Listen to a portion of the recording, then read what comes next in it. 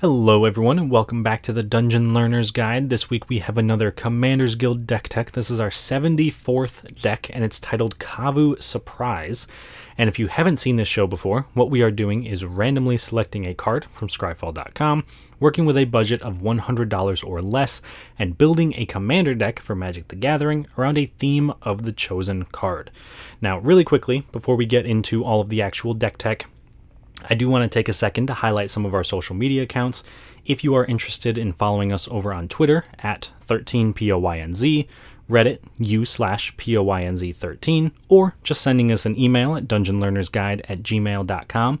Those are all great ways to reach out to us if you ever have any questions or if you just want to talk or maybe you want to request some uh, decks to be played on this channel or cards to be turned into decks. Those are all great ways to do that. However, if you're looking to support us a little bit more directly, you can head on over to TCG Player and use our affiliate link, which is in the description for this video. Once you've clicked on that link, any cards that you buy, we get a little bit of a kickback from as just a thank you for sending you their way.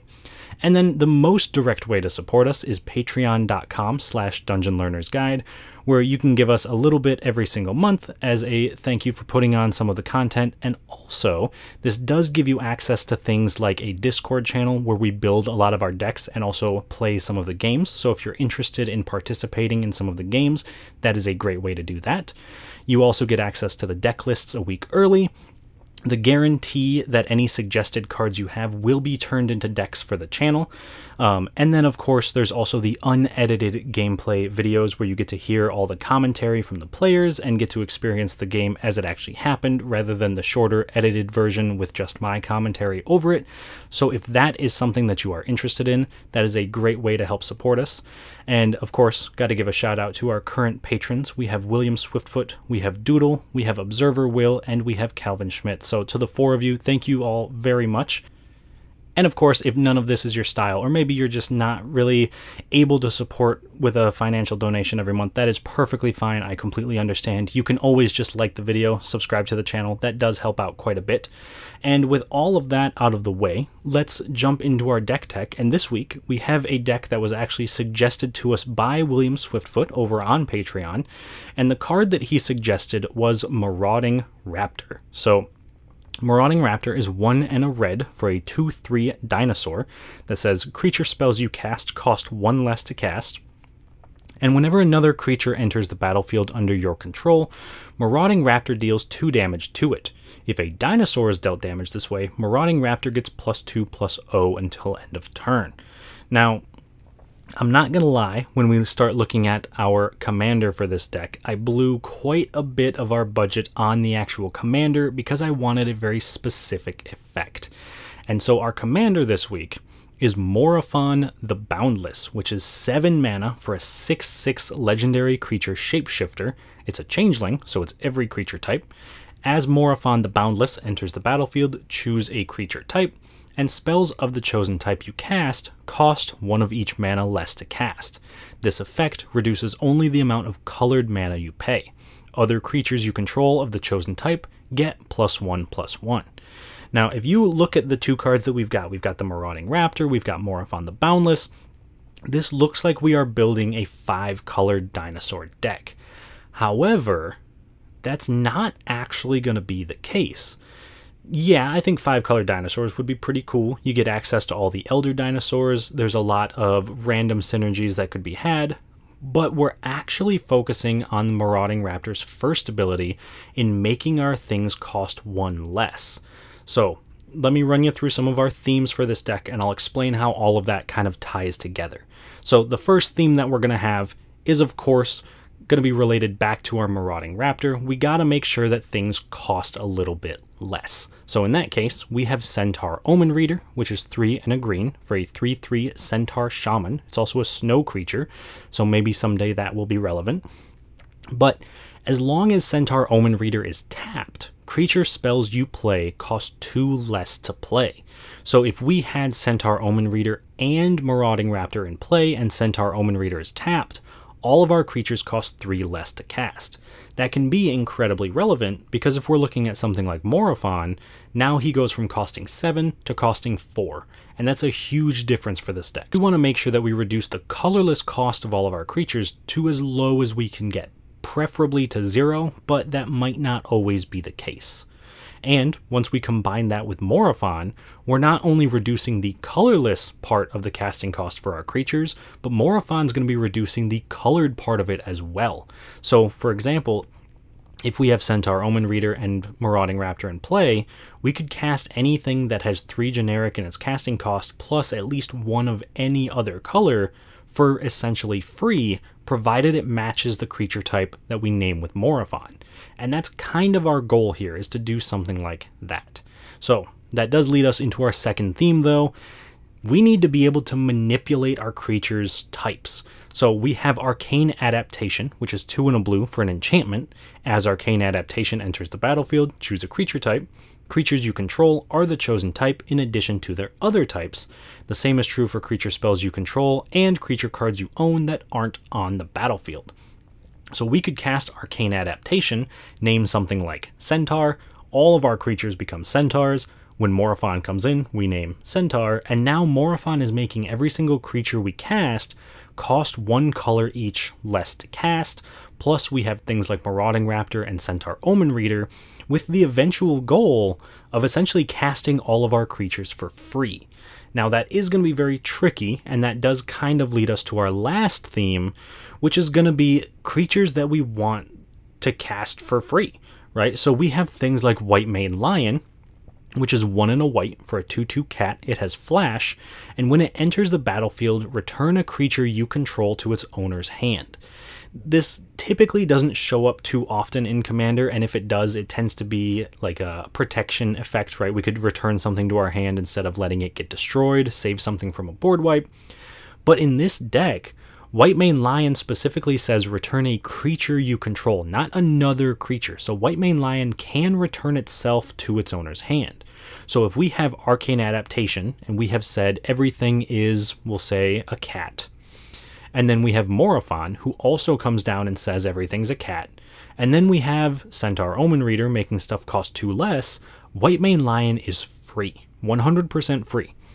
So we could cast White Mane Lion, it comes into play, it returns itself to hand, and we could actually infinitely cast White Mane Lion and bounce it back to our hand. Now, that doesn't win us the game on its own, and it certainly does make us look like a target, so, of course, we do have to add something to this that helps us win the game. That would be something like Impact Tremors that does one damage to something whenever a creature comes into play, whatever that may be. But as weird as it is, we have some key cards that almost effectively win us the game on the spot, and that's where a lot of our deck is leading us to.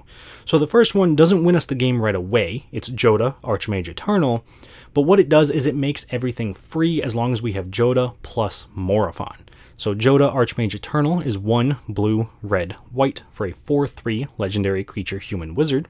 It's got flying, and you may pay one of each color of mana rather than pay the mana cost for spells you cast.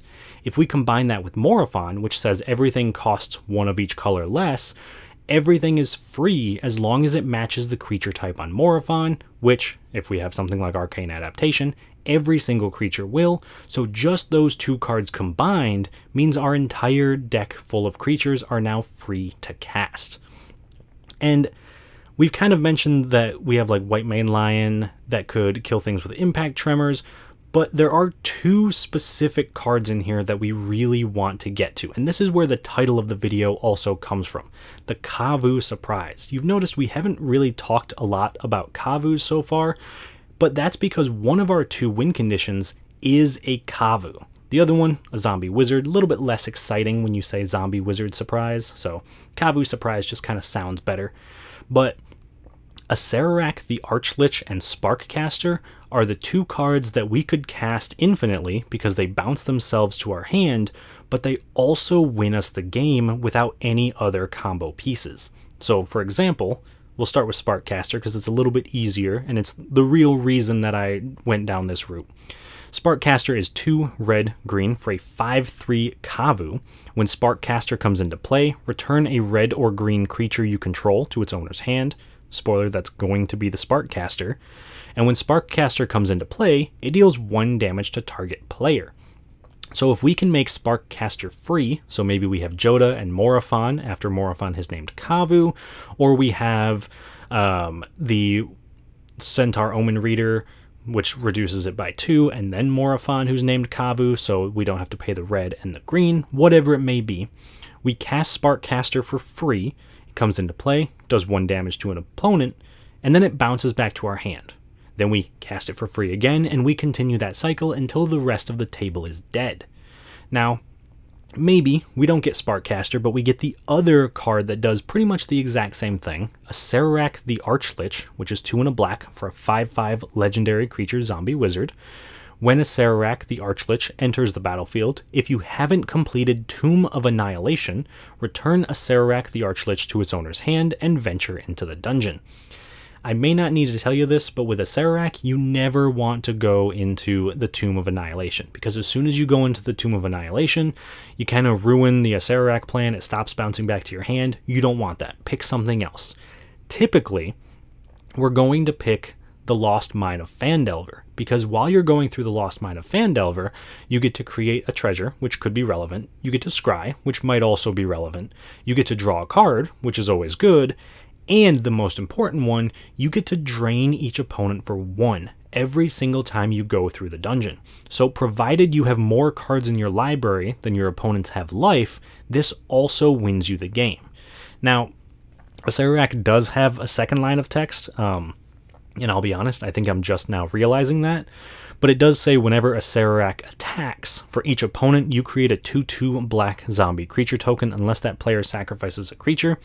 The reason that I've probably never read that ability is because it's not important for us. Um, the odds of us actually getting Acererak down and having him stay in play are going to be very, very slim because that implies that we have completed the Tomb of Annihilation, which we don't want to do. So, Acererak and Sparkcaster are the two main win conditions in here because they're single card win conditions provided we have the rest of our support pieces.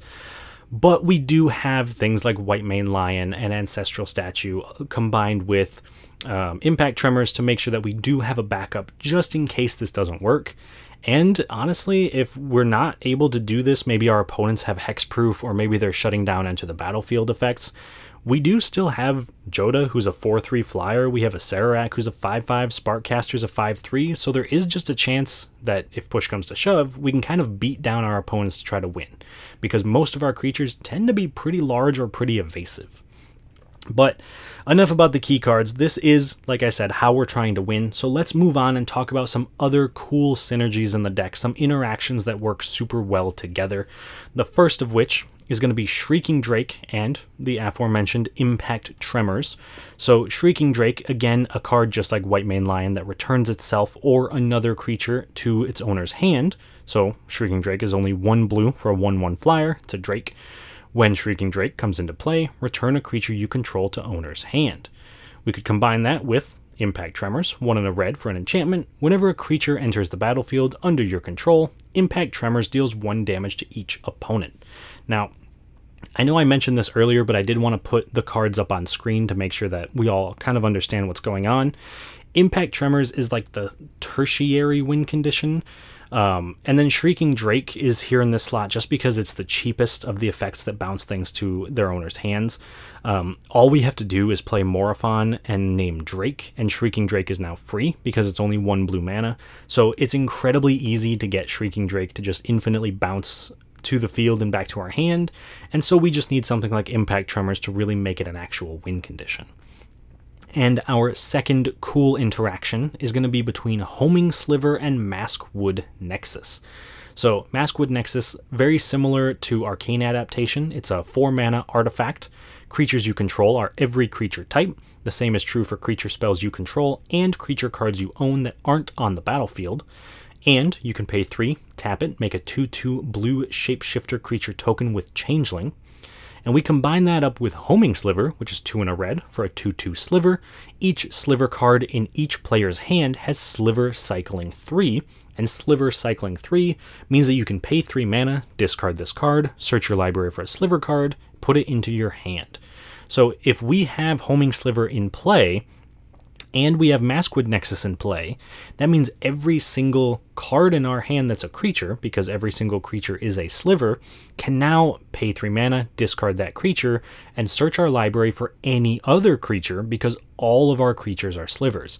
So this is essentially just 3 mana, tutor for whatever creature we want as long as we have a creature in hand. And that can be incredibly powerful when we're looking for something like Jodah, or we're looking for something like Shrieking Drake, or we're just looking for something like Marauding Raptor to help us lower the cost of our creatures. So Homing Sliver is an all-star, especially when combined with Maskwood Nexus. We don't have a ton of other slivers. In fact, I think there's only one other normal sliver in the deck, so we do need something like Maskwood Nexus or Arcane Adaptation to really take advantage of this, but it is powerful nonetheless. And so, finally, that brings us to the end of our deck tech. We got to talk about the price of this deck. Now, this deck is incredibly, incredibly close to our budget limit, and honestly, I can't remember a deck that we've done that was closer to the budget limit than this. We're only three cents away from $100. It is $99.97. And a lot of that, as I'm sure we're well aware of, is because of our commander, right? Morophon the Boundless, $19.16. And I would love to use one of the other five color commanders that's, you know, 25 cents or whatever to really lower the price of this deck, but unfortunately, there isn't a good replacement for Morophon. Morophon is the only way I found to reduce the colored mana of non legendary spells, because something like Bard class could reduce the green and red cost of spells, but only for legendaries. Morophon does it for everything, and yeah, it sucks to have to spend $20 on a single card. I mean, that's a fifth of our budget just on one card, but Morophon really is unique, and it's the only card that does what it does. Now, if you wanted to cut it and you wanted to try to make the deck work in some other way, I think that would be super cool. And if you know a way to do that, I would love to hear it. I think that would be super sweet. But if you decide you can't cut Morophon and you want to instead cut some other more expensive cards, I've got you covered there too. The next most expensive card that's not Morophon in the deck is actually Semblance Anvil, which is 3 mana for an artifact. It has imprint, so when it enters the battlefield, you may exile a non land card from your hand, and spells you cast that share a card type with the exiled card cost 2 less to cast. So you'll notice that there's a huge drop off between our most expensive card and our second most expensive card, but that's because there's actually quite a few cards in the deck that float around between 3 to $5. Semblance Anvil just happens to be the next most expensive. But we have a ton of ways to reduce costs in this deck, so if you do need to cut Semblance Anvil to trim the price a little bit, that's not a bad cut to make because there's plenty of things that do the same thing. Like we saw earlier, Marauding Raptor, Centaur Omen Reader, there are ways to do this. But on the other hand, maybe you're trying to increase the price of this deck, or you just want some cards that work really well with what we're doing. I've got you there too. So we have some out of budget upgrades, two in particular, one that's a little bit pricier than the other, and I'll explain what I would put into this deck if we had the budget for it and what I would take out if given the chance. So the first one is Urza's Incubator, which is a massive $45 now, but Urza's Incubator is 3 mana for an artifact. As it enters the battlefield, choose a creature type. Creature spells of the chosen type cost 2 less to cast. This is incredibly powerful because it hits pretty much everything. Now, like I mentioned earlier, we do have a ton of things that reduce the cost of spells, so it's not super, super relevant to have this, but it is an upgrade nonetheless. And I would recommend taking out Council of the Absolute for it, which is 2 white blue for a 2 4 human advisor. As Council of the Absolute enters the battlefield, name a card other than a creature or land card, your opponents can't cast cards with the chosen name. Spells with the chosen name you cast cost 2 less to cast. Now, Council of the Absolute can be very powerful, but the downfall here is that we're really trying to make our creatures cost less, and Council of the Absolute does not hit creatures. So we could make some of our instants or sorceries or enchantments cost less, maybe something like Warstorm Surge, which is normally 6 mana, but it doesn't help us in going infinite with our creatures, so if you have the chance to replace it for something that does help us to do that, like Urza's Incubator, I would highly recommend that switch. The other out of budget upgrade, which is not nearly as expensive as Urza's Incubator, however, still pretty expensive, is Bontu's Monument, which is actually almost $5 now, $4.51. And it's 3 mana for a legendary artifact that says black creature spells you cast cost 1 less to cast. Whenever you cast a creature spell, each opponent loses 1 life and you gain 1 life. Bontu's Monument is another infinite win condition in this deck. If we have White Mane Lion and Bontu's Monument, we win the game because White Mane Lion can infinitely return itself to our hand, we can recast it, and Bontu's Monument will drain each opponent for one. So this is another win condition that is incredibly powerful, but on the downside, it is almost $5, and I tried to figure out how to get it in there, but I just couldn't quite squeeze it through the budget.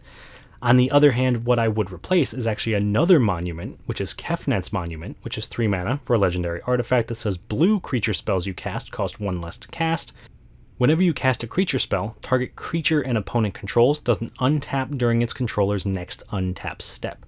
So this can again be very useful because it's reducing the cost of our creatures, but the extra ability is more of an annoyance than anything else, and our opponents won't appreciate that we could keep their things tapped. And the real downside to this is that it doesn't actually tap the creature. It only keeps them tapped if they're already tapped. So unless we have a way to tap things, which we don't, I'll be perfectly honest, or our opponents are attacking us, there's no reason for us to be using this, and it really tends to draw a target on our backs. Uh, every time I've played this card, people have gotten very annoyed by it and have kind of gone out of their way to either kill it or to make sure that they can kill me instead of having to deal with this. So I would recommend that if you're going to play the Monument, you might as well play the one that's an actual win condition, since they're both going to get you a little bit of flack anyway. But those are the only two out of budget upgrades that I would recommend. And so the last thing we've got to do with this deck is see how it actually functions in a game. So this week we got two games. Um, and they're both going to be a little bit longer, so I do apologize for that. They both wound up being almost two hour games on their own, so even just the edited down versions, they're about 20 minutes per game. Um, but they are very good games, and I'm very happy with how they turn out. So, first up, we have game number one, where we'll be playing against Chris, also known as One More Game, playing Esix Fractal Bloom. We have Finnagain playing Captain N'ghathrod. I think that's how it's pronounced. If I'm saying it wrong, please let me know. And then we have Eddie playing Carth the Lion. So Chris's Esix deck is a token style strategy. He wants to make a ton of tokens and wants to make sure that he's making very powerful tokens or copying some of the best creatures at the table and using that as a way to win.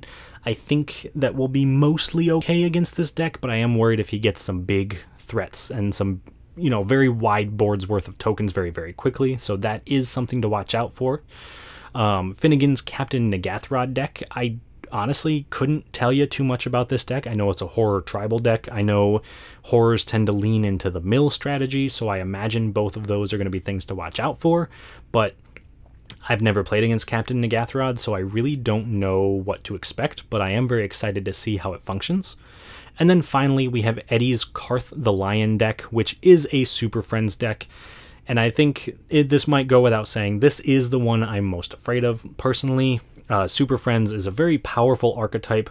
Bilal frequently plays his Carth the Lion deck, which is incredibly powerful. I've actually lost to Carth quite a few times, so I'm more than aware of the power that Carth has the ability to get extra loyalty counters on his Planeswalkers, the ability to keep searching up Planeswalkers when things die is just incredibly powerful. So, very concerned about what Carth is doing over there, but We'll see how it goes. I hope we do a good job in this game. I hope the deck performs up to expectations, and I hope you all enjoy it as well. And I will talk to you all once it's done for game two. At the start of the game, Chris goes first, followed by Finnagain, myself, and then Eddie. On Chris's first turn, he plays a tapped Rimewood Falls. Finnagain plays a Port of Karfell. I play an Exotic Orchard. Eddie plays a Forest and casts Arbor Elf. Chris plays a spawning bed and casts Crashing Drawbridge, which can tap to give all his creatures haste. Finnagain plays a swamp and casts Talisman of Dominance. I play a Plains, and then cast Thornscape Familiar, making all my red and white spells cost one less to cast. Eddie plays a Swamp, and casts 3 visits, searching his library for a forest and putting it into play. With that, he casts a Sylvan Library, allowing him to draw 3 cards for his turn, but losing 4 life for each one he doesn't put back beyond the first. Chris plays a Dreamroot Cascade. Finnagain plays a Myriad Landscape. I play a Forest and cast Orzhov's Signet, followed by casting an Azorius Signet. I then move to combat and attack Eddie for 2.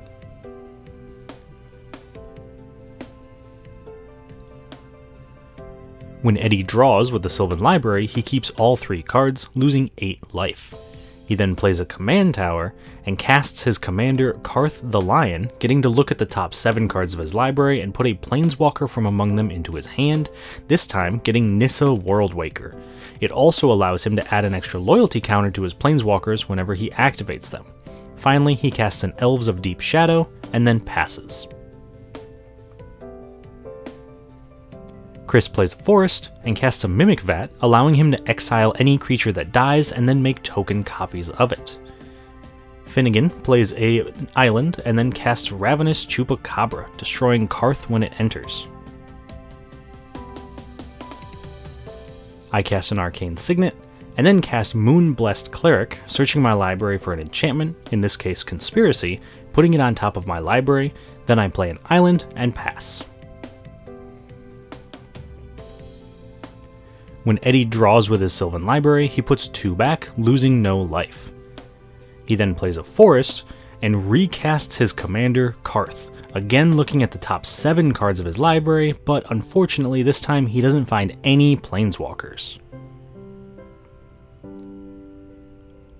Once that's resolved, he casts an Elvish Mystic and passes. Chris plays Novijen, Heart of Progress, and casts Mycoloth, devouring the crashing drawbridge when it enters to put two plus one plus one counters on it, allowing him to make two saprolings at the start of his turn. This also lets Chris exile the drawbridge under the Mimic Vat for future use.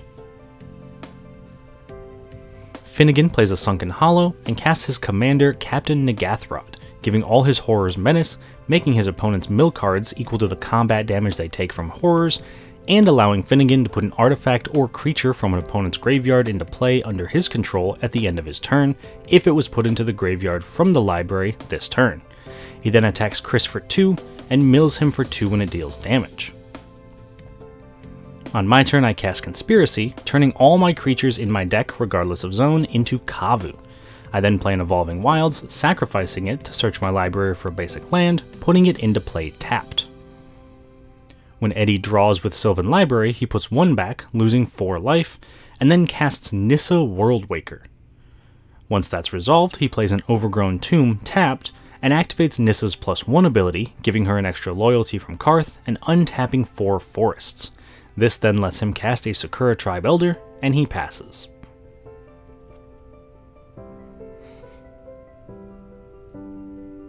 In Chris's upkeep, Mycoloth triggers, making him two Saproling tokens. He then plays a Lumbering Falls and casts Mirror Hall Mimic, copying the Mycoloth, devouring the original Mycoloth and both Saprolings, getting 6 plus 1 plus 1 counters. Finnagain plays a Swamp and casts Pilfered Plans, making me mill 2 while he draws 2. After that, he casts a Mind Crank, making each opponent mill cards equal to the damage they take, and moves to combat, attacking me for 5, milling me for a total of 10 when his creatures do damage. Then at the end of turn, Finnagain puts my Centaur Omen Reader into play under his control since he milled it from my library this turn.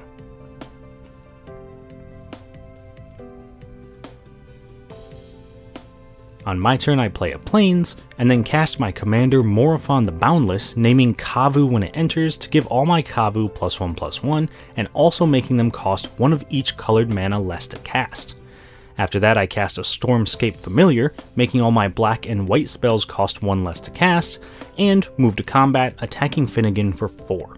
Then, in my end step, Eddie sacrifices his Sakura Tribe Elder to search his library for a basic land, putting it into play tapped. When Eddie draws with Sylvan Library, he puts 2 back, losing no life. He then floats 4 mana and activates Nissa's plus 1 ability to untap the 4 forests he just tapped. This allows him to cast the Chain Veil, which can be activated for 4 mana, letting Eddie activate all his Planeswalkers again this turn, but it also does 2 damage to him at the end of turn if he hasn't activated a Planeswalker. He immediately activates the Chain Veil, allowing him to ultimate Nissa, letting him search his library for any number of basic lands, in this case, all of them, putting them onto the battlefield and turning them into 4 4 elemental creatures with trample. Notably, Nissa survives the ultimate because Carth gives her an extra loyalty when she ultimates, putting her to 1. In Chris's upkeep, the Mycoloth clone triggers, making 6 1 1 Saproling tokens. He then casts a Pest Infestation, where X equals 2, destroying 2 artifacts or enchantments, and then making 4 Pest tokens. This has him destroying the Chain Veil and the Mind Crank. Finnagain plays an island and casts Leyline of Anticipation, allowing him to cast all of his spells at flash speed.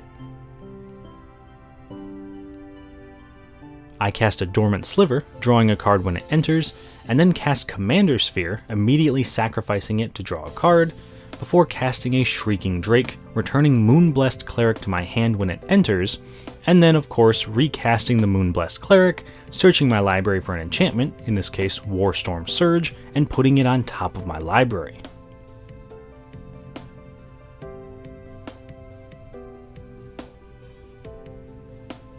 When Eddie draws with Sylvan Library, he puts two back, losing no life, and then casts Blood on the Snow to destroy all creatures, and, in response, also casts Heroic Intervention to give all his permanents hexproof and indestructible until the end of turn. Luckily, though, Finnagain has an answer using Fierce Guardianship to counter the Heroic Intervention and forcing Eddie to wipe away his own board along with everyone else's. This lets Chris exile Moonblessed Cleric underneath his Mimic Vat when it dies, and Eddie also returns Elvish Mystic from his graveyard to play thanks to Blood on the Snow. Once that's resolved, he recasts his commander, Carth the Lion, revealing Ob Nixilis Reignited and putting it into his hand.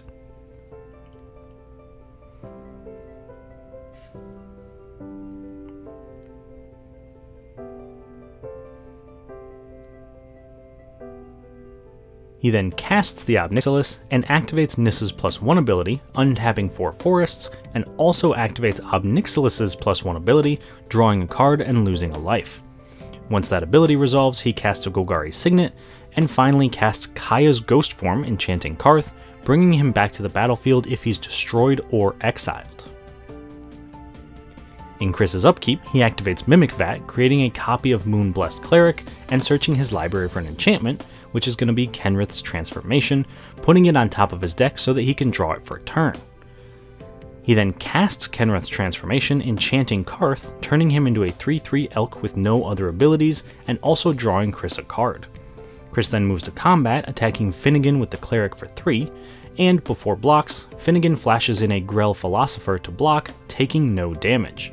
This also gives all horrors he controls the activated abilities of an artifact controlled by an opponent, and that ability also triggers in his upkeep.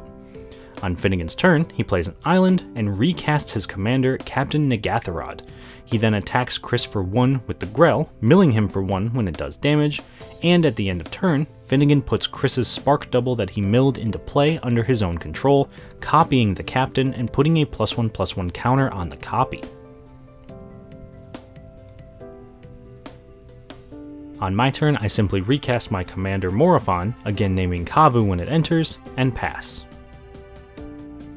When Eddie draws with Sylvan Library, he puts one back, losing 4 life, and then casts Reclamation Sage, destroying Kenrith's transformation when it enters play. He follows that up by casting Callous Blood Mage, drawing a card and losing a life. Then he ultimates Ob Nixilis, killing the Planeswalker and giving Chris an emblem that makes him lose 2 life whenever any player draws a card. Then, since a Planeswalker died, Carth triggers and lets Eddie look at the top 7 cards of his library, putting Vraska Golgari Queen from among them into his hand. He immediately casts the Vraska Golgari Queen and activates her plus 2 ability to sacrifice Carth, returning him to play with Kaya's Ghost Form, looking at the top 7 cards of his library and putting Tevesh Szat, Doom of Fools into his hand.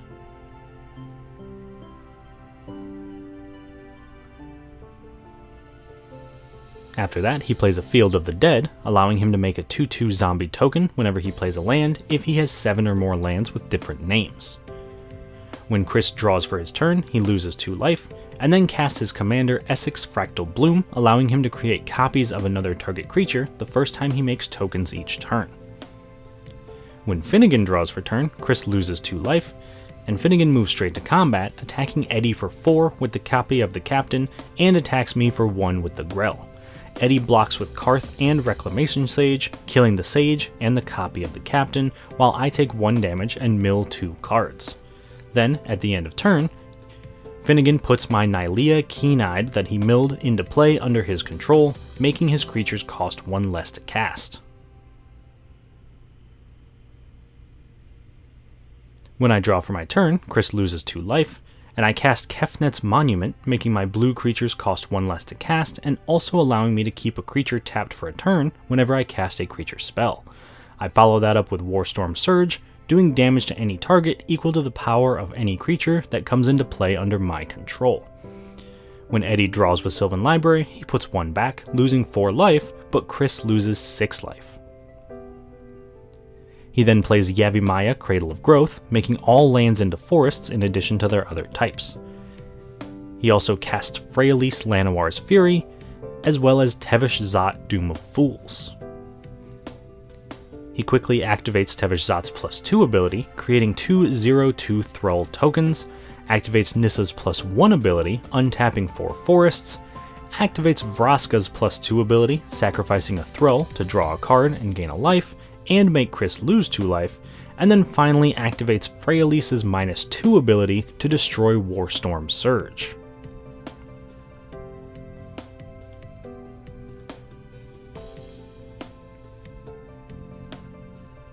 When Chris draws for his turn, he loses 2 life, and, still in Chris's upkeep, Finnagain sacrifices his Myriad Landscape to search his library for two basic lands, putting them into play tapped. Chris then activates his Mimic Vat, making a token copy of Moonblessed Cleric, but uses Esix's ability to have it come into play as a Captain N'ghathrod. He moves to combat, attacking Finnagain for 3 with the Captain copy, milling him for 3 when it does damage, and Tevesh Szat for 4 with Esix. In his second main phase, he casts Biovisionary, and at the end of turn, Chris puts Forgotten Creation into play from Finnagain's graveyard, and also has to sacrifice his copy of the Captain. Still in Chris's end step, Finnagain flashes in Reflections of Littjara naming Horror, letting him copy any horror spell that he casts. When Finnagain draws return, Chris loses 2 life, and Finnagain then attacks me for 3 with his commander, and attacks Chris for 4 with the copy of his commander. Then, Chris mills 8 and I mill 6. At the end of turn, the two commanders allow Finnagain to put Chris's progenitor Mimic into play, copying the copy of Captain N'ghathrod and also my Ezurut Channeler.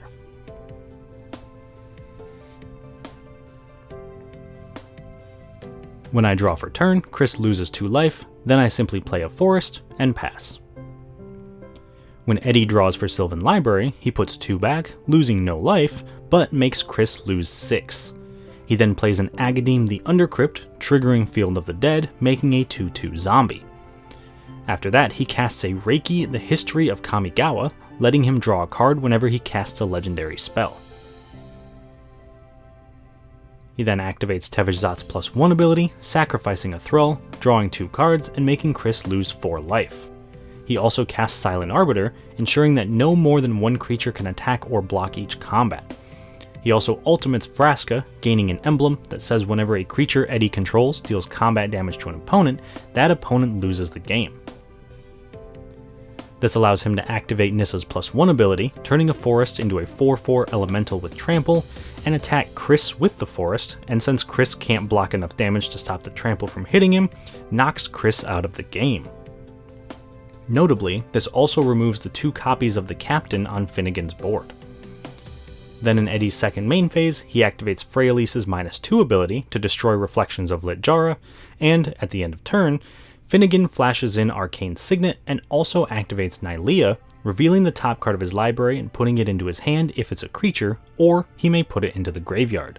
This has him putting Grazilaxx, Illithid Scholar to hand. He then activates Nylea two more times, this time putting a land and Haunted one into the graveyard.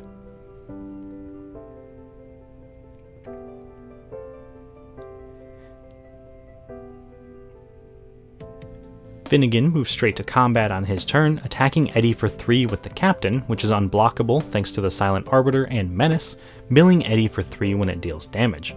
Then at the end of turn, Finnagain puts Eddie's Evolution Sage into play under his control since it was milled this turn. On my turn, I again just play a Swamp and pass. But at the end of my turn, Eddie casts Harrow, sacrificing a land to search his library for two basic lands, putting them into play tapped. Unfortunately though, he forgot that he pulled all of his basics out with Nissa earlier in the game, so he fails to find. When Eddie draws with Sylvan Library, he puts two back, losing no life. And in his first main phase, he casts Ugin the Ineffable, making all his colorless spells cost two less to cast. He activates Ugin's minus 3 ability, destroying Captain N'ghathrod, but in response, Finnagain flashes in Overcharged Amalgam, exploiting the Evolution Sage, countering the activated ability, and saving his commander. Eddie then activates Tevesh plus 1 ability, sacrificing a zombie to draw 2 cards, activates Freyalise's minus 2 ability, destroying Leyline of Anticipation and killing the Planeswalker. In response, Finnagain flashes in Grazilaxx, Illithid Scholar, and then Eddie gets to look at the top 7 cards of his library, putting Garruk the Cursed Huntsman from among them into his hand. He also activates Nissa's plus 1 ability to untap 4 forests, and this then allows him to cast Garruk the Cursed Huntsman, drawing a card with Reki. He immediately ultimates Garruk, gaining an emblem that gives creatures he controls plus 3 plus 3 and trample. This also kills the Planeswalker, letting him look at the top 7 cards of his library, putting Nissa Vital Force into his hand. He moves to combat, attacking Finnagain with a 7 7 forest with trample, but before damage, Finnagain casts Drown in the Loch to destroy the attacking creature. In Eddie's second main phase, he activates Vraska's plus 2 ability, sacrificing Elvish Mystic, gaining a life, and drawing a card. He then plays an Ancient Tomb, making a 2 2 zombie, and passes.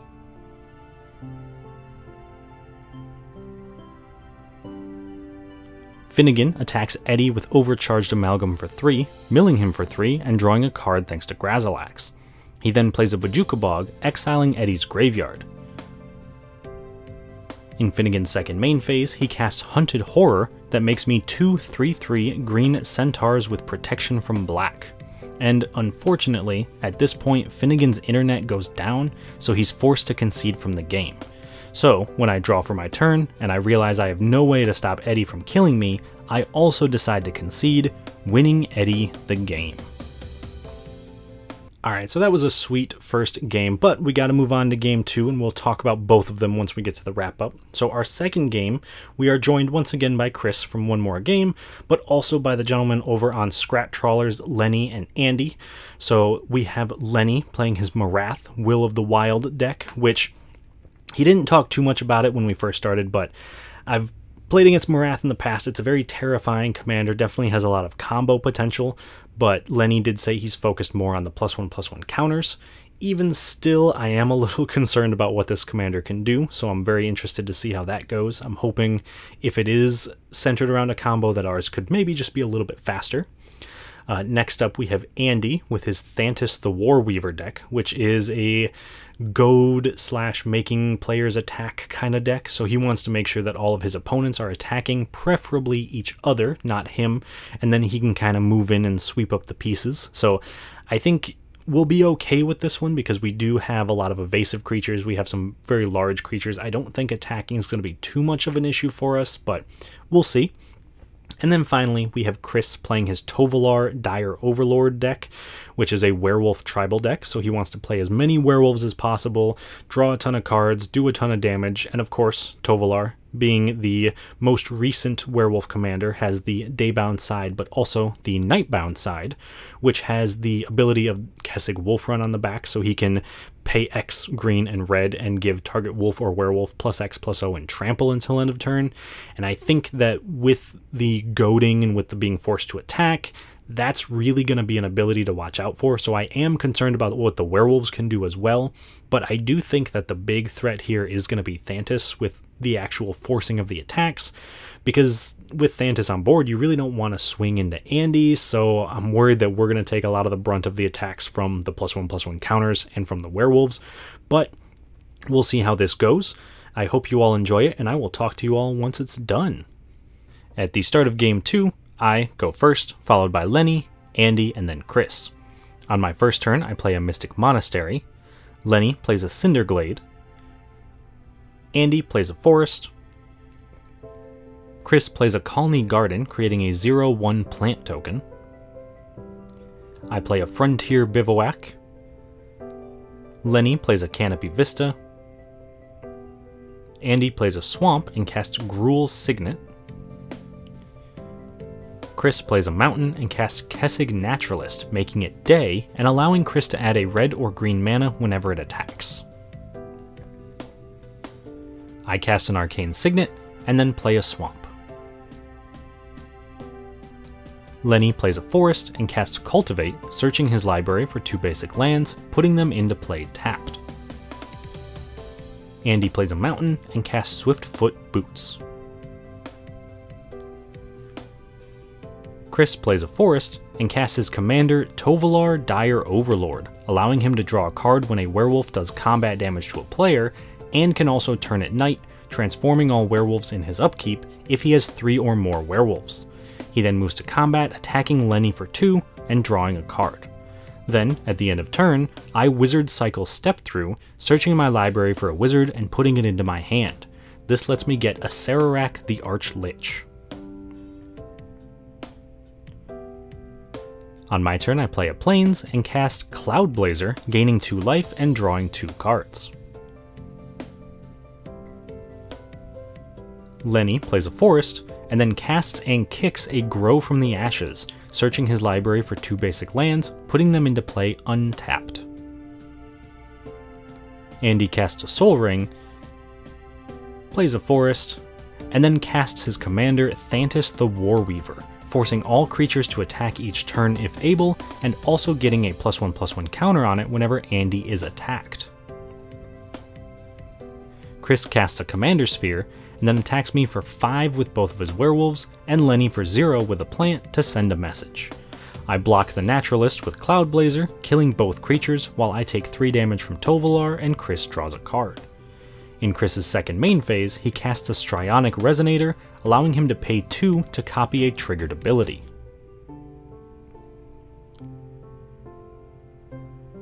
On my turn, I play a Crumbling Necropolis and cast Marauding Raptor, making all my creatures cost 1 less to cast and doing 2 damage to any creature I play. I then cast a Mistform Warchief, making any creature that shares a type with it cost 1 less to cast, and can also tap to make itself into any other creature type until the end of turn. Lenny plays a Mountain and casts his commander, Marath, Will of the Wild, which enters with X plus 1 plus 1 counters equal to the mana spent to cast it, and Lenny can remove X plus 1 plus 1 counters to put X plus 1 plus 1 counters on target creature, do X damage to target creature, or make an XX elemental creature token. Andy equips the Swiftfoot Boots to Thantis, giving it haste and hexproof, and then casts a Geode Rager, which goads all creatures target opponent controls whenever a land enters under Andy's control. He then immediately plays a mountain and goads all of my creatures before moving to combat and attacking Chris for 5 with Thantis. On Chris's turn, he casts an unnatural Moonrise, making it night, transforming Tovolar, giving him plus 1 plus 0, and letting Chris draw a card if Tovolar deals combat damage to an opponent this turn. He follows that up by casting Rabid Bite, having Tovolar deal 5 damage to Geode Rager, killing it. He then moves to combat and attacks Lenny for 4 with Tovolar and me for 0 with the plant. Lenny blocks with Marath and, before damage, casts a Solidarity of Heroes, doubling the number of counters on it, making it a 6-6 and killing Tovolar. On my turn, I play a Mountain, and then activate Mistform Warchief, turning it into a wizard until the end of turn. Then I cast my commander, Morophon, the Boundless, naming Wizard when it enters to give all wizards plus 1 plus 1 and makes wizards cost 1 of each color mana less to cast. this makes Acererak the Archlich completely free to cast, so I attempt to go infinite and venture into the dungeon until I drain all of my opponents out. Unfortunately though, Lenny is able to stop it by removing 3 plus 1 plus 1 counters from Marath, doing 3 damage to Marauding Raptor, killing it, and making Acererak cost 1 generic mana instead of being free. However, I do still venture into the Lost Mine of Phandelver, scrying 1, and then Acererak returns to my hand.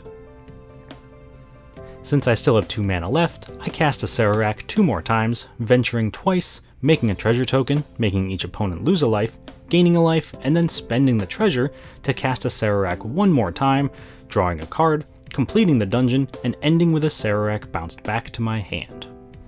On Lenny's turn, he cast a Cloaked Cadet, which draws Lenny a card once a turn whenever a plus 1 plus 1 counter is put on a human he controls. He then attacks Chris for 3 with Marath, and removes a plus 1 plus 1 counter from Marath, putting it on Cloaked Cadet, drawing a card. Andy plays a mountain and attacks Chris for 5 with Thantis and passes. Chris plays a Rogue's Passage and casts Burnished Heart, followed up by casting Lambholt Pacifist, which can't attack unless Chris controls a creature with power 4 or greater. He then moves to combat, attacking Andy for 0, putting a plus 1 plus 1 counter on Thantis.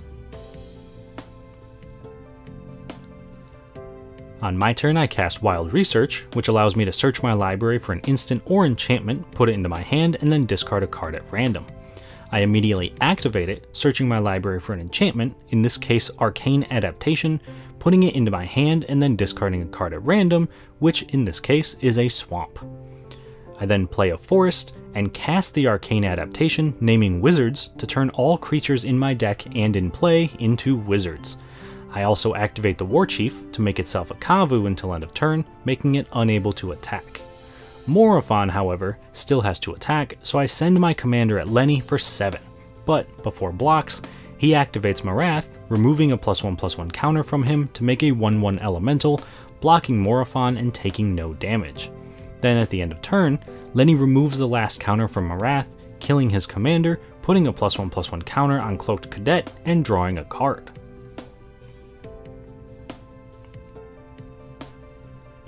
Lenny plays a command tower and recasts his commander Marath, putting 5 plus 1 plus 1 counters on it. He then removes a plus 1 plus 1 counter from Marath and puts it on Cloaked Cadet to draw a card. He moves to combat, attacking me for 5, and then, at the end of turn, Andy casts Return of the Wild Speaker to draw 6 cards since he has a creature with 6 power. On Andy's turn, he plays a Swamp and casts Fiend Lash, equipping it to Thantis, giving him plus 2 plus 0, and also doing damage equal to his power whenever he's dealt damage.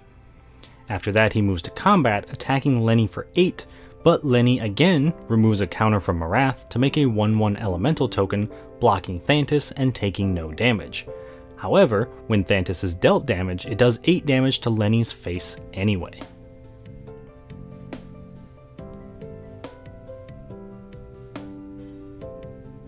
On Chris's turn, he plays a Command Tower, and then sacrifices his Burnished Heart, searching his library for two basic lands, putting them into play tapped. In response, Lenny removes a counter from his commander, putting it onto the cadet and drawing a card. Chris then casts an Inquisitor's Flail and attacks me for 0 with the plant token. I play a Forest and cast Acererak, returning him to my hand a total of 4 times since he only costs 1 mana. This lets me scry 1, make a treasure token, gain a life, have each of my opponents lose a life, and draw a card. While that's going on, Lenny responds by removing a counter from Marath, putting it on the cadet, and drawing a card. Once I finish the dungeon and draw a card, I'm able to cast the card I drew, Jodah Archmage Eternal, letting me cast spells by spending one mana of each color rather than paying their mana costs. This, combined with Morophon, makes all wizards, including Acererak, free to cast. However, when I try to go infinite with Acererak, Andy responds by casting Terminate to destroy the Archlich, only allowing me to scry 1. I then move to combat and attack Chris for 2 and Lenny for 6 with Morophon. Both of them block, preventing the damage and only killing Marath. Lenny plays a forest and casts Citadel Siege, choosing Khans so that at the start of combat on his turn, he gets to put two plus one plus one counters on target creature he controls, which he immediately does, putting the counters on Cloaked Cadet and drawing a card. He then attacks me for 9 with the Cadet, and in his second main phase, casts a Hopeful Initiate, which can remove two counters from among creatures he controls to destroy an artifact or enchantment. He also casts a Cryptic Trilobite for x equals 1, so it enters with 1 plus 1 plus 1 counter.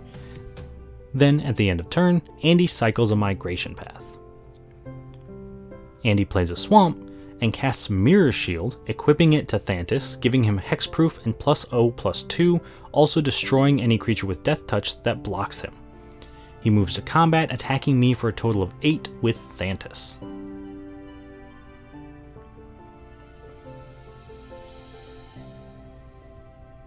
Chris recasts his commander Tovolar, Dire Overlord, and sacrifices Commander Sphere to draw a card. He then casts an Obelisk of Urd, tapping his creatures to help pay for it with Convoke, giving all his werewolves plus 2 plus 2. On my turn, I sliver cycle a homing sliver, searching my library for a sliver, in this case a dormant sliver, and putting it into my hand I cast the Dormant Sliver, giving all slivers Defender, and when they enter the battlefield, their controller draws a card, drawing me a card when the Dormant Sliver enters.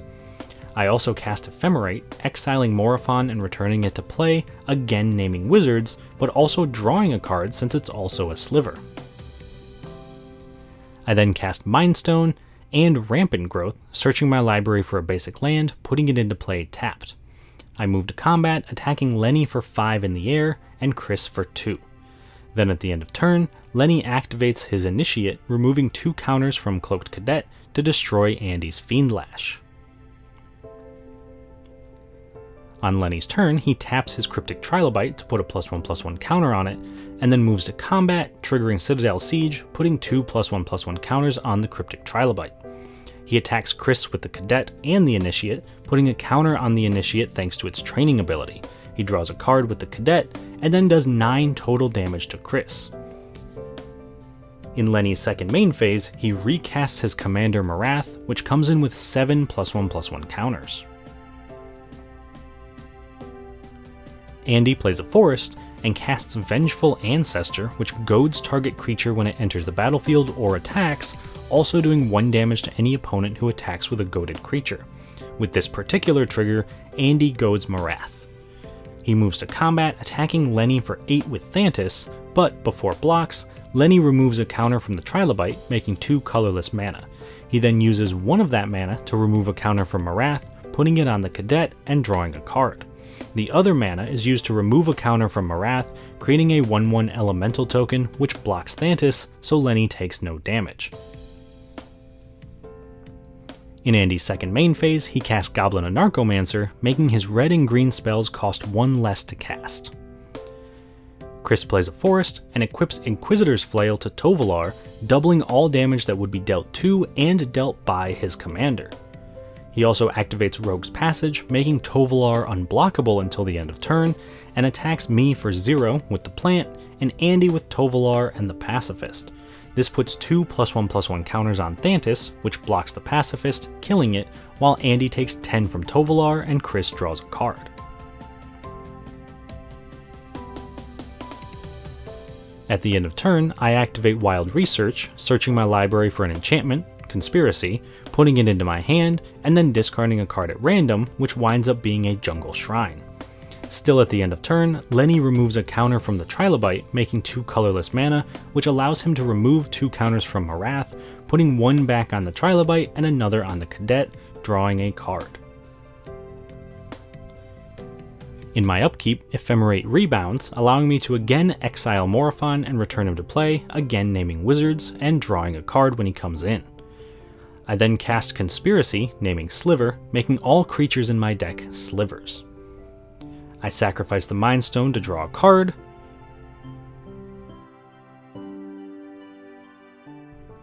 I also cast Ancestral Statue, attempting to infinitely draw my deck since it's a sliver, drawing me a card when it enters, returns itself to my hand, and can be cast for free thanks to Morophon and Jodah. Unfortunately, Lenny has an answer, removing a counter from the Trilobite to activate Hopeful Initiate, destroying Ancestral Statue with the bounce trigger on the stack, however I do still get to draw one card. After that I activate Wild Research, searching my library for an enchantment, in this case Nylea Keen-Eyed, putting it to my hand and then discarding a card at random, which ends up being a Kefnet's Monument. I cast the Nylea Keen-Eyed, making all my creatures cost one less, and letting me pay 3 to look at the top card of my library and put it into my hand if it's a creature, or into the graveyard. At the end of turn, Lenny reinforces with Break Ties, putting a plus 1 plus 1 counter on Cloaked Cadet, drawing a card. On Lenny's turn, he plays a Plains, and casts Wild Growth, enchanting a Plains, letting it tap for an additional green mana. He follows that up by casting Abzan Falconer, giving all his creatures with plus 1 plus 1 counters flying. He also casts a Collective Effort, escalating it with Hopeful Initiate and Abzan Falconer, tapping them and choosing all three modes. This lets him put a plus 1 plus 1 counter on all of his creatures, destroy Morophon, and destroy Arcane Adaptation. Once that resolves, he draws a card with Cloaked Cadet since a counter was put on it, and also taps Cryptic Trilobite, putting a plus 1 plus 1 counter on it. He moves to combat, attacking Andy for 10 with the Cadet, putting a counter on Thantis, and attacks Chris for 5 with Marath, which also does 1 to Lenny since Marath was goaded. At this point, we also remember the Citadel Siege triggered, so Lenny puts two plus 1 plus 1 counters on the Trilobite. Andy plays a Mountain, and attacks Lenny with everything, goading the Cloaked Cadet. Before blocks, though, Lenny removes two counters from the Trilobite to remove four counters from Marath, putting one on Abzan Falconer, drawing a card since it's a human, and making three elemental tokens. He then uses the elementals to block, taking no damage.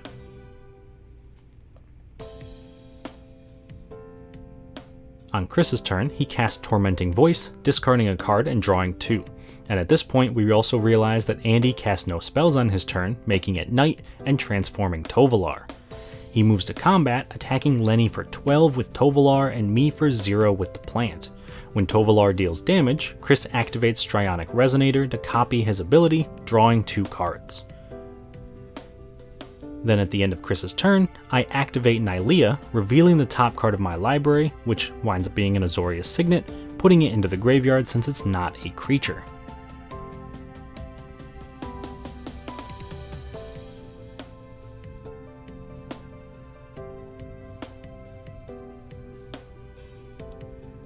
On my turn, I recast my commander Morophon, naming Slivers and drawing a card. I also cast Oketra's Monument, making my white creatures cost one less to cast, and also creating a 1-1 warrior token whenever I cast a creature spell. I then play Evolving Wilds, sacrificing it to search my library and put a basic land into play tapped.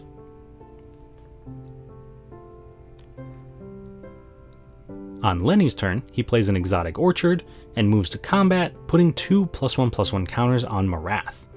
He winds up attacking Chris with his entire board for a total of 23 damage, knocking Chris out of the game. This also does 1 damage to Lenny thanks to the Vengeful Ancestor, puts a counter on the Hopeful Initiate, and draws Lenny a card. In his second main phase, he casts Shatter the Sky, destroying all creatures, but letting each player draw a card since we all control a creature with power 4 or greater. And he also casts Grumgully the Generous, putting a plus 1 plus 1 counter on each non human that enters under his control. He casts a Ranging Raptor, which comes in with a plus 1 plus 1 counter and also allows Lenny to search his library for a basic land and put it into play tapped whenever the raptor is dealt damage. Andy plays an Evolving Wilds and recasts his commander Thantis, immediately equipping him with the Swiftfoot boots. This lets him move to combat and attack Lenny for 5, but Lenny blocks with the ranging raptors, killing the dinosaur, but letting him search his library for a basic land and put it into play tapped. Then Andy sacrifices his Evolving Wilds to also search his library for a basic land and put it into play tapped. At the end of turn, I activate Wild Research to search my library for an enchantment, in this case Impact Tremors, put it into my hand, and then discard a card at random, which unfortunately ends up being the Impact Tremors.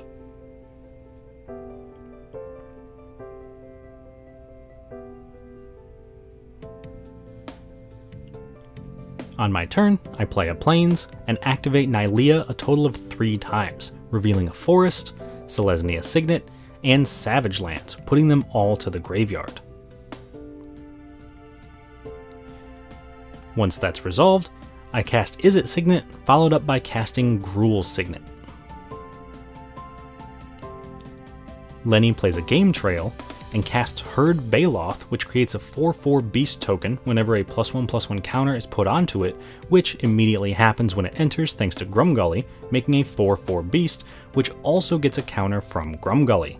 He then moves to combat, putting two more plus 1 plus 1 counters on Herd Baloth, and creating another 4-4 beast, which also gets a plus 1 plus 1 counter. He attacks me for 3 with Grumgully, and then moves to his second main phase, where he casts a Pride Malkin, and the Pride Malkin enters with a plus 1 plus 1 counter, putting another counter on the Herd Baloth, creating another 4 4 beast that also gets a counter, and giving all his creatures with plus 1 plus 1 counters trample. Andy plays a Forest and attacks me for 5 with Thantis. Then, in his second main phase, he casts Agitator Ant, allowing each player to put two plus one plus one counters on a creature they control during Andy's end step. However, any creature that gets the counters is goaded. Andy then moves to his end step, triggering the Ant, so he puts two counters on Thantis, while Lenny puts two counters on Herd Baloth, making another 4-4 beast that also gets a counter. On my turn I play an island, and recast Morophon, again naming Slivers, and activate Nylea, revealing a forest and putting it into the graveyard. Lenny casts an Armorcraft Judge, which comes in with a plus 1 plus 1 counter, and then draws him 9 cards since he controls 9 creatures with plus 1 plus 1 counters on them. After that, he plays a Forge of Heroes, and casts a Warstorm Surge, which does damage to any target equal to the power of any creature that enters under Lenny's control. He also casts Together Forever, putting a plus 1 plus 1 counter on Grumgully and Herd Baloth, making another 4 4 with a plus 1 plus 1 counter, allowing Lenny to do 5 damage to Andy when it enters. After that, he casts Ordeal of Nylea on Herd Baloth, allowing him to put a plus 1 plus 1 counter on it when it attacks, then sacrificing the enchantment and searching for two basic lands if it has 3 or more counters on it. He moves to combat, putting two counters on Herd Baloth, making another 4-4 beast with a counter on it, doing 5 damage to Andy. This allows Lenny to attack both Andy and I for more than enough damage to kill us both, especially since everything has trample, winning Lenny the game.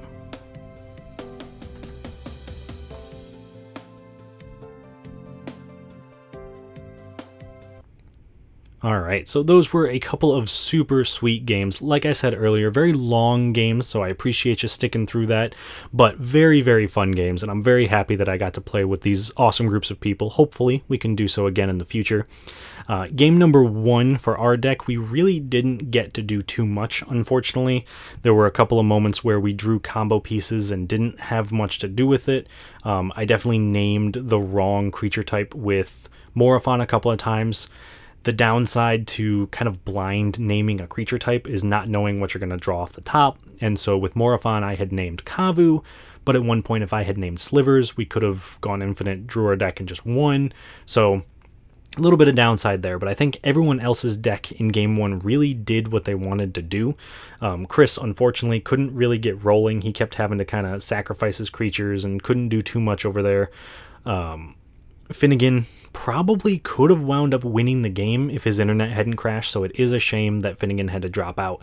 Hopefully, we can get Finnagain back for some games to kind of avenge that loss in the future. And I was definitely right when I said that Eddie's Carth deck was going to be problematic because Super Friends. I've lost to Carth so many times in the past, so no big surprise there, but very, very cool. And it was very sweet to see him ultimate so many Planeswalkers. That's not a common thing you get to see, even from Super Friends decks, so super cool to watch that. And then for game two, uh, the the scrap trawlers in particular really tried to stop me from comboing off that game. I tried to go infinite three separate times, and even toward the end of the game, I was drawing uh, live to any creature that could bounce itself, like Shrieking Drake or White Mane Lion. I had the ability to win if I had been able to find it. that ability to win went down the hill a little bit once I discarded the um, impact tremors, but you never know. So very cool that I at least attempted to do it three times, and I think that really shows the resiliency of the deck that I attempted to infinitely combo three separate times with three separate cards. So very very cool and big props to both lenny and andy for stopping that from happening. Um, i think lenny and andy's decks both really did very powerful things and were able to keep the game going with combat and being able to make a ton of counters. And lenny's cloaked cadet was like the mvp of that game. I don't know how many cards it drew him throughout the course of the game but i think without that cloaked cadet he probably wouldn't have had the resources to actually win.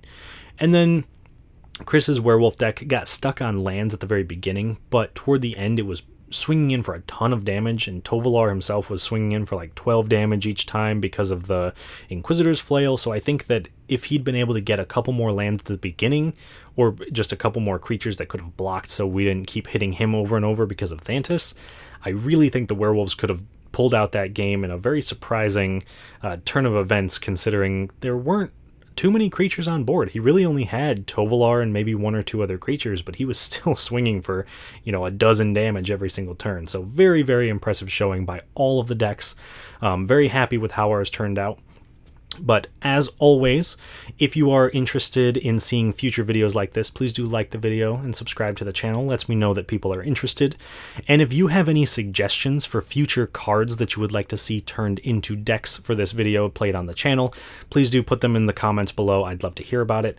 And of course, let me know what you think about the deck, what you thought about everyone else's decks, the games, the uh, deck tech itself. I'd love to hear everyone's comments. But with all of that being said, Hope you all enjoyed it, and I will see you all on the other side of the Dungeon Learner's Guide.